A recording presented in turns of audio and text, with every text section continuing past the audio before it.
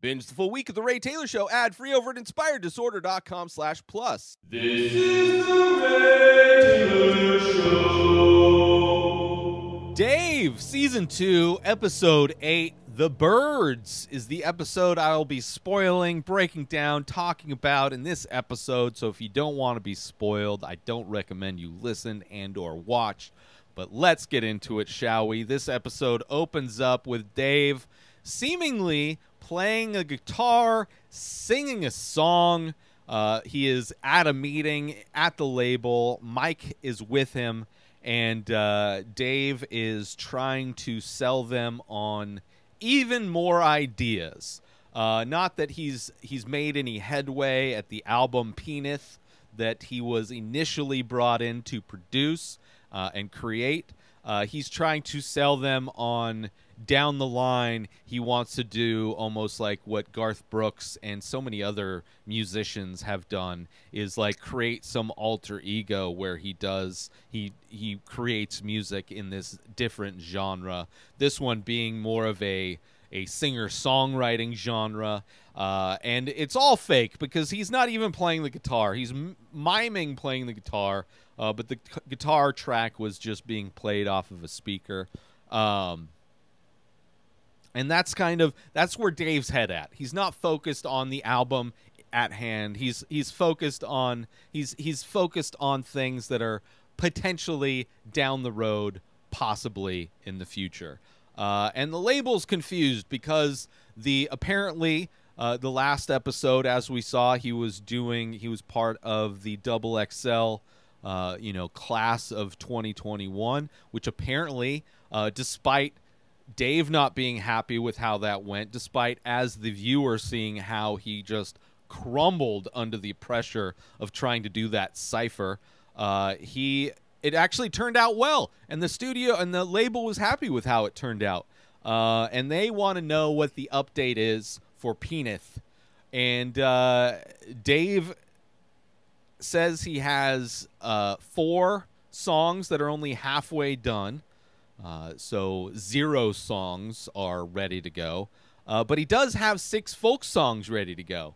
Uh, and and Mike, kind of being the realist in this in the situation, the the manager of this train wreck that is Dave, uh, lets the label know that they're probably about a year out because it's getting close to the release date, the April Fool's release date, April first release date that they came up with, and uh, Mike is telling the label that it, the real the realistic number that we would have to push this back to get things done is a year, uh, which cut to.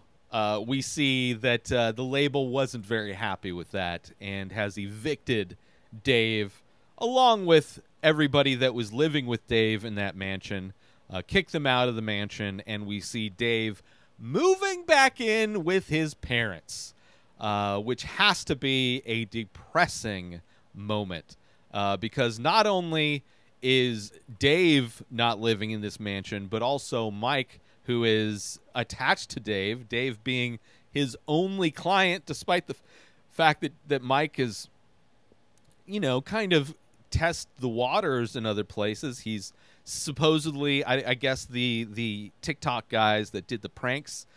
I'm assuming that fell through because there's no mention of that. Uh, the meeting that he had with the label uh, doesn't seem to be, you know, despite everybody kind of wanting to work with Mike, it seems like Mike is is still uh, only working with Dave. Um, but Dave back in his old room, which has been redecorated for his parents to rent out uh, for Airbnb. It looks kind of like a, a, a, girl's room, uh, which is v- definitely very weird. Uh, Mike back at home, or not Mike, Dave back at home, slipping kind of back into that son role. His mom asking to make him uh, a sandwich and cut it into the nice little triangles. Mike kind of giving Dave shit about uh, his mommy making him sandwiches again. Uh, but you know, when Mike is asked for a sandwich, he he obviously uh, accepts because who wouldn't accept a sandwich? Uh, especially like moms make good sandwiches. If you're ever like around somebody's mom, doesn't even have to be your own mom. Just any mom. Moms just seem to know how to make good sandwiches. It just I, I don't know. It there's extra love in there. I don't know what they do, uh, but Mike definitely accepts the the sandwich, and he you know he volunteers his uh, opinion on the situation to Dave, who didn't ask, but you know he trying to encourage Dave, letting him know that he doesn't think he's a failure, uh, which Dave didn't think he was a failure uh, because Dave is still uh, in that ego delusion of him still is a master of the hip hop arts. Uh, and uh, Mike kind of understanding the reality of the situation is that he's done nothing. He's gotten this opportunity to produce an album and squandered all every opportunity. Everything he's gained from that, he's squandered and and not done uh, any any work. He's had no travel in the direction of completion of Penith. Um, and due to lack of productivity, they were evicted from the thing. Uh, cut to Ally showing up, happy to say hello to Dave, now living at, at his parents' house outside eating that sandwich. Uh, Ally comes bearing gifts, which I think is more of a joke on Ally's part, maybe kind of uh, poking at Dave a bit because her gifts were a headband and a balloon, a single uninflated balloon, uh, which Dave uh, lets her know that he's unable to blow up balloons uh, because of his slack jaw, which I don't know if that's true. I don't like the balloon seems like it's an inside joke, but at no point in the show that I remember breaking down every episode of the show. Uh, I can't remember a balloon being brought up in any situation, but definitely feels like a an inside joke. Um, and Dave, kind of still delusional to his downfall, is labeling him being evicted from that mansion as him being reduced to his core and it just being more of a detour than anything. Uh, which, you know, I guess that's a nice way to look at failure in some ways. Uh, you know, but you still should be at least honest with yourself and understand that you are moving backwards and not forwards. Um, so Ally brings those gifts. Cut to now. Um, Mike is inside. Dave is looking for his his laptop. I think it might be the next day, uh, or maybe later on. Mike's looking for, or Dave's looking for his laptop, and he finds Mike in the living room on Dave's laptop, listening to music, listening to see the work that Dave has done, because Dave doesn't share anything with anybody. Uh, notorious for that. Uh, mentioned many times in many instances uh, that uh, he's not one to show. I mean, even in the last episode where where the the cipher that he was supposed to do for this double XL event, uh, you know, most rappers will just use lyrics and things from songs that are yet to be released, and Dave has none of that. And even if even if he did, he wouldn't be he wouldn't be using it for that that purpose. Uh, but Mike's looking through. Uh, Dave shows him where he's been saving his work in progress. One song in which was called "Me Too," uh, which after listening to it, Mike realized that it's very tone deaf. Uh, in specifically in relation to the Me Too movement, uh, the song is very contradictory to that movement and uh, not something that was getting Mike amped. Uh, and then he found uh, Ally's song, which wasn't mispronounced, is Ally's song. He plays that. Of course, that is the song uh, that ended, that was towards the end of season one, where Dave and Ally were going to the wedding, and that he recorded that little interstitial as they're getting packed up and ready to go. Uh, it's also the song that he listened to on the drive away from that wedding after they broke up uh, where he was kind of getting emotional slash inspired from the song. Um, so Mike listening to it and enjoying it. Mike is positive about this song. Instantly, once that song is played, you can see Dave completely change and become that vulnerable, raw, kind of embarrassed and emotional about the song. Like you could tell that it is it's a song that means a lot to Dave because it's a it's this it's a song that is in reference to and about uh, this love that he had that is no more his uh, relationship with Ally and uh, you know Mike after listening to the song is happy to see that Dave is upset about that relationship ending that he's still in love with Ally and Dave's still in denial about that uh, that he is still in love with Ally which kind of that uh, one of many times in this show where I feel so related to Dave. Uh, I I understand that mindset. I understand that uh, that kind of lost love, that that that uh, that part of yourself that is still in love with that relationship, that one that got away in a, a lot of ways, that one that was your muse in a lot of ways, and uh, Dave's still in denial about it. And now a quick word from our sponsor. Now you can wear the many faces. Original art by Ray Taylor. Select pieces from the ongoing series of abstract ink paintings. All products made with high quality materials, made right here in the USA. Go to inspireddisorder.com slash TMF merch to browse the entire collection and save yourself an extra 10% when you check out by using coupon code RTS TMF. So once again, go to inspireddisorder.com slash TMF merch and save 10% when you use coupon code RTS TMF. And now, back to our show. Cut to now. Uh, it's later on in the evening. Uh, dinner is being cooked by Dave's mom. Mike is no longer there, but she tells Dave that uh, dinner will be in 20 minutes. Dave wants to go take a quick shower, which she knows will will extend he won't be ready in time for dinner.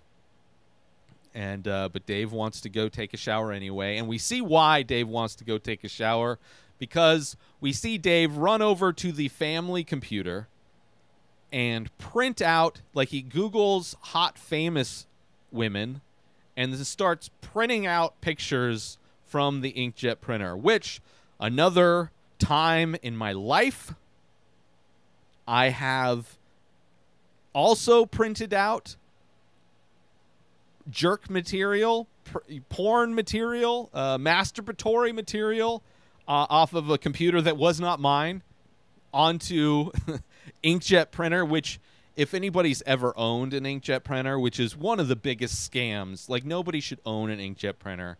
Just get a laser printer. Just be done with it. Get a laser printer. They don't dry out. They last a long time. Laser printers are garbage. The ink dries up whether you use it or not. It's they break all the time. The ink costs are crazy. But if you're printing out full pictures on an inkjet, you are not going to be printing much. Uh, so I related to that. Kind of weird because Dave should have a cell phone, but it, it, that said, it, it is took me back watching that scene, reminding me of that time in the late '90s, printing up porn pictures off of somebody else's computer, uh, a family member's computer that I was staying with on summer vacation, and uh, he took those pictures that he printed to the shower, which he was going to take a shower, and uses the steam of the shower to stick those pictures onto the glass surroundings of the shower.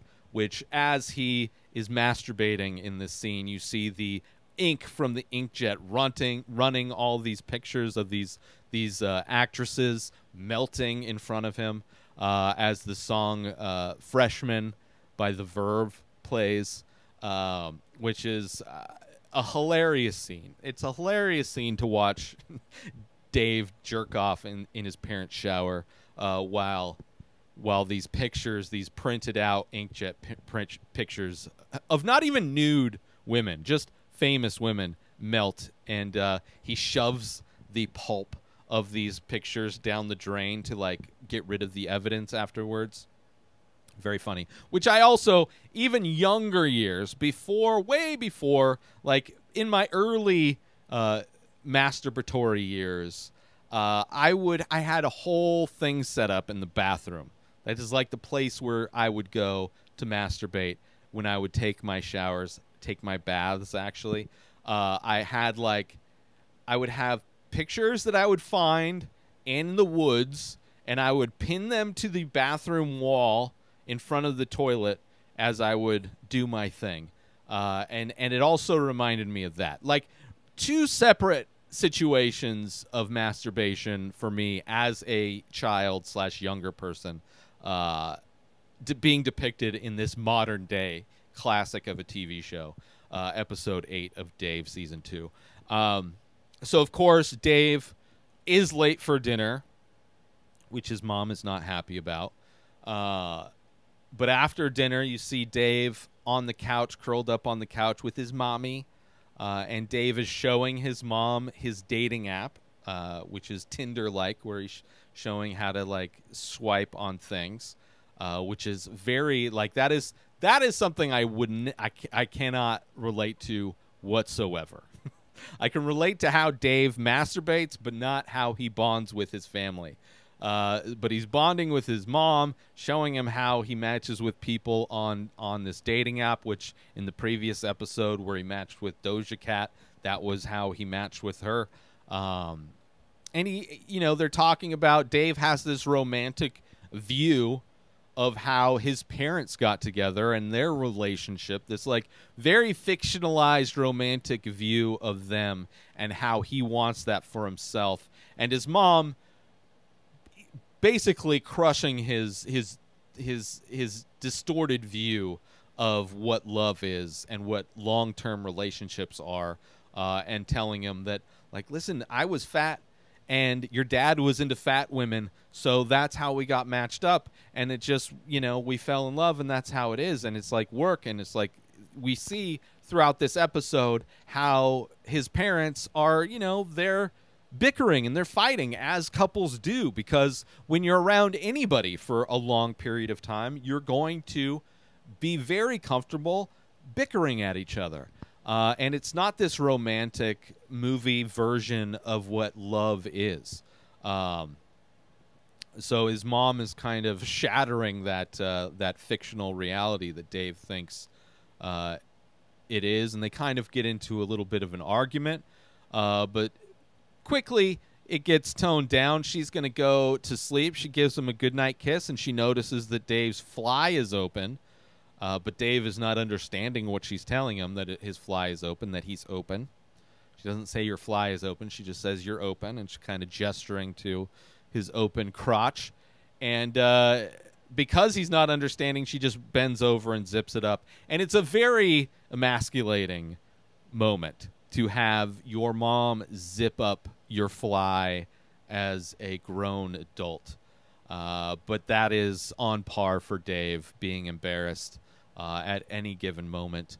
Uh, cutting to the next day, Dave's parents have, are taking Dave to go clothes shopping, which is something I cannot.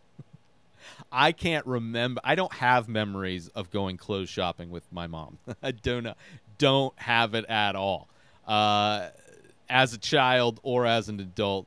Uh, so it's very weird to see Dave going shopping. His parents are going to buy him clothes. Uh, they have like arms full of clothes. And while Dave's picking stuff out, Dave's mom decides to go uh, go walk around the mall, do her own thing, uh, which you know is is something you do, especially since she's been bickering back and forth with Don, her husband. Uh, but she goes. She ends up getting offered a free makeover, so she gets a makeover. Does not look good. Does not look good. Uh, and she, after the makeover, she goes to sit down on this like modern chair, and it's like a, it looks like a top, and she kind of topples over. Uh, and uh, it's embarrassing for her. And she goes to the bathroom to wash off. She decides to wash off the makeup. All the while, she's trying to get a hold of Don, who she's reminded to turn on his phone. There's been one of the things that they've been bickering about throughout this episode so far is that Don uh, is not paying attention to his phone at any given moment. uh, that she's constantly having to remind him to turn his phone on. And this is just another one of those instances in a long line of instances where he's not uh, picking up his phone. Uh, so she ends up tracking him down in the store, blows up at him the moment he sees as they're trying to check out. Uh, cut now to they're in the car on the way home. Mom's driving. She's got a headache. Dave trying to alleviate the pressure, trying to turn the mood around, uh, tries to sing a love song, trying to be funny and romantic, and trying, still trying to latch on to that fictional romantic view of a long term romantic relationship. Uh, which obviously isn't doing good. Her his mom tells him that he's got a headache. He's she's not she's not doesn't want to hear it. Uh, so they get home, and uh, mom is asleep. Got her eye mask on, trying to sleep away the headache, just trying to get her alone time. And of course, Dave comes in, wakes her up, just no regard for what she wants to do, wakes her up. She thinks she's getting punked. Are you punking me? Am I a punk? And you find out that Dave cooked her a nice romantic dinner. They walk into the kitchen. Dad's already sitting down. There's candles lit. Company chicken and company noodles has already been plated up.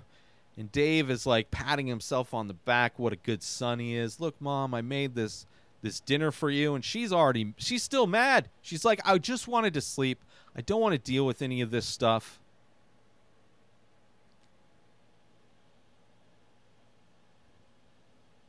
So they bicker.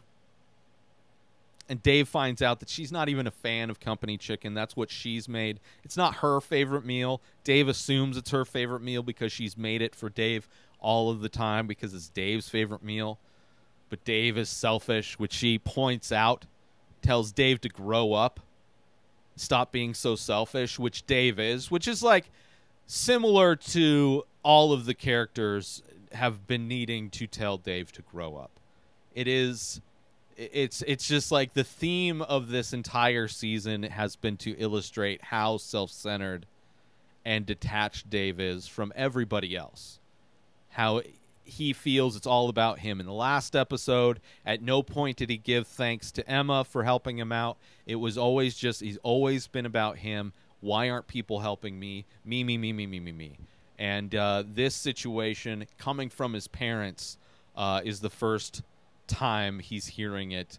Uh, and they argue. Dave arguing as Dave would have argued with Emma about like how could you call me selfish? I made this meal for you. It's like you didn't make this meal for me. You made this for you to make yourself feel bad. This isn't even my favorite meal. This is your favorite meal. This is all about you dave. And in the argument his mom mentions that his dad has depression.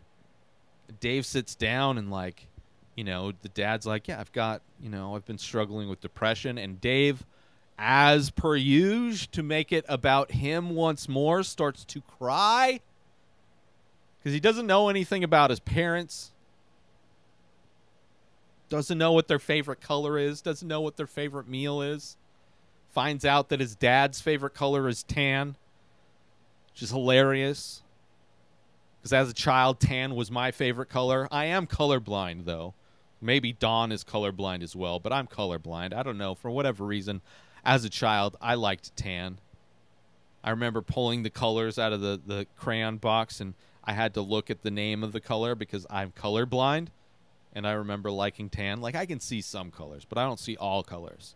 And uh, for whatever reason, I really like tan. Maybe it was because I was a white supremacist as a child. I don't know. I wasn't really, but. So I related to, to Don saying that tan was his favorite color. Join Inspired Disorder Plus today. Head on over to inspireddisorder.com slash plus to join. Membership includes members only discounts and deals. You get access to the Ray Taylor Show completely ad free, as well as bonus episodes. You get access to the complete live painting archive. You also get access to every single podcast ever produced by Inspired Disorder, hosted by Ray Taylor. You get access to Ray Taylor's personal blog, as well as the opportunity to ask me any questions. So if you want to start a podcast, you're into art, ask me anything. And so many more things are being added every day to Inspire Disorder Plus. So sign up today, become a member, head on over to inspireddisorder.com slash plus and become an Inspire Disorder Plus member today. Later on, you see Don delivering slippers to his wife. What's her What's her name? What's, what's uh? I don't think it's even gonna say in here. Uh, anyway, delivering slippers in like uh, some kind of inside jokey type of a thing that they have where he's I think he's quoting like a 007 type of a, a line maybe? I don't know. But it's a sweet moment where it's clear that like despite the fact that they bicker and go back and forth that they still have a lot of love for each other. And Don still tries to do small things to show that he cares uh, delivering those slippers. So it's kind of a, a sweet a sweet moment uh, where he's delivering those slippers. Um, cut to Dave and Ally. I think Dave went over to Ally's place to uh, have some drinks just to hang out. I guess Dave's parents live close to Allie, uh, and um, which doesn't really make sense because I thought his parents lived in Pennsylvania. Not entirely sure of the. Oh, I- maybe they moved because there was reference that Don is now retired, and they moved. So maybe they moved to L.A. to be close to Dave. That's what I think it is because they did mention during one of the arguments, uh, where Don was s- sticking up for his wife when Dave was bickering. It's like, look, she sacrificed a lot. I retired. We moved. She did all of these things, no questions asked. So I'm assuming they moved to L.A., which would make sense because now he's over at Ally's, uh, and they they're having a couple drinks, and Dave offers to play her her song because Dave knows that okay, there's something special with this song, but he needs her because it's about her, inspired by her. He needs her to listen to it to get her opinion on it and just you know look and also probably it's like look what i made. You know i still love you. These are my feelings. This is how i'm expressing my feelings to you because i am unable to do so in a normal manner. So this is how i'm doing it through this song. So Ally listens to the song and she starts to realize that it's about her. You see her eyes starting to well up. She likes the song, and uh, you know she's she's like tells Dave that like she thinks she knows that this is Dave trying to maybe rekindle something. Which I think that's what Dave is trying to do on some level. And she tells Dave, she's like, Look, Dave, I love this song, but like I've moved on. I spent a lot of time and a lot of energy trying to move on from you, which is one reason why I don't I don't uh, try and contact uh, you know the my ex that reminds me of Ally. There's a reason why I have not tried to. I like. There's definitely been times where I, in the same manner as Dave, would want to reach out and do that. And her response to Dave is exactly why I don't, because she she has clearly moved on. She values their friendship, but she is not going to be in a romantic relationship with him. And Dave, kind of, in my opinion, being defensive about that because he's kind of embarrassed that it didn't go the way he wanted it to go is just putting off the song is like oh that song is it's not a it's just a song. It's not about you. It's not me trying to rekindle something which i think is bullshit. I think he's clearly i think a lot of the reason why this season Dave has kind of been an asshole is because he has this unrequited love uh, for Ally still, uh, despite the fact that he's still so narcissistic and egotistical and self-centered and selfish and all of those and all of those things. Um,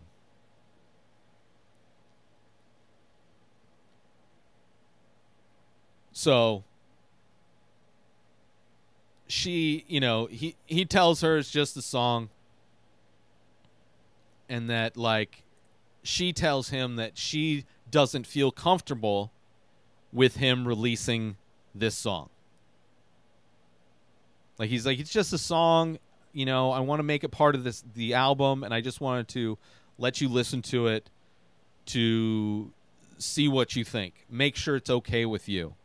And she is not okay with it being part of the album, similarly to previous parts of the relationship that she wasn't comfortable with, specifically Dave tweeting in his alternate rapper uh, version of himself online, uh, talking about their sex life. She wasn't comfortable with that.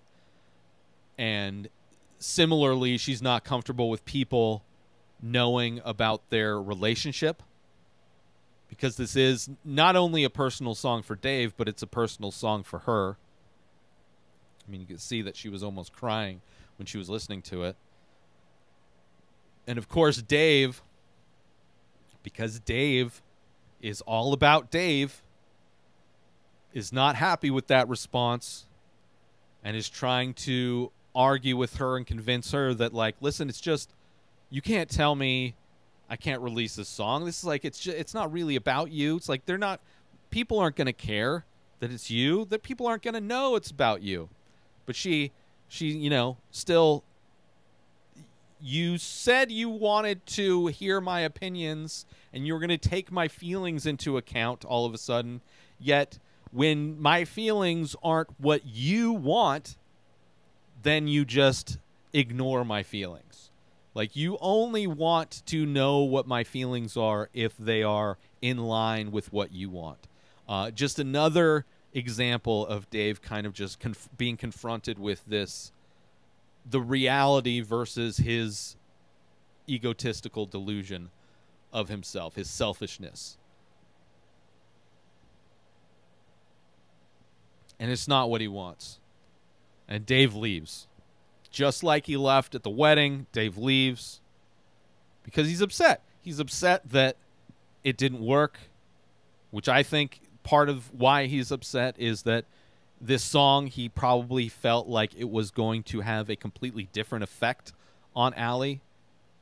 Like that she would want him back, especially since everything is falling apart for Dave around Dave. You know, he's struggling to grasp at things that that he lost and he wants back. And it doesn't work. It doesn't work. And he's upset. And I'm sure he's upset because, like, this one good thing that he's made, the only thing that he has created in this entire time, is this song. It's the only thing that's mattered to him. It's the only thing that he's put energy into. And it's been his biggest roadblock. Whatever it is, whatever his mental situation is that's not allowing him to create music, probably fear. This is one thing he's been able to do. And it's probably been he's been able to do it because he felt like it was going to be the catalyst for them to get back together is not going to happen and Dave leaves hurt. And that's how the episode ends. So we're seeing in this episode not only Ally once again telling Dave another example of him being selfish, self-centered, but also he's hearing it from his parents. Like in every episode, Dave is like hearing from all these people around him how selfish he is and we're seeing Dave act selfish, especially in the last episode with how his disregard for all of the help that Emma's given him. Uh, it's just it's just like he's spiraling. This whole season is Dave just spiraling out of control and uh, kind of squandering every opportunity that he's built for himself, uh, playing the victim, and uh, you know, it's a bummer. It's a bummer. In contrast to the first season, which was a lot of fun, this is far from a lot of fun. Uh, but that has been episode eight, The Burds. Only two episodes left of season two. Uh, next episode, episode nine, is entitled Enlightened Dave. Uh, so we'll see. Maybe Dave will break through and uh, have uh, maybe some ego death in the next episode. Either way, until next week. New episodes of The Ray Taylor Show come out every single day. Subscribe on YouTube and everywhere our podcasts are found. Binge the full week over at inspireddisorder.com slash plus. Buy Ray Taylor Show merch over at inspireddisorder.com. And follow the show on Instagram at Ray Taylor Show. Have a wonderful day, everybody. Peace out! Today is the day where you wake up and you realize that everything that you've been dreaming about, everything that you've been wanting, every goal and wish and hope that you've ever had can become real. Dreams can come true. What you manifest in your mind, you can bring to reality.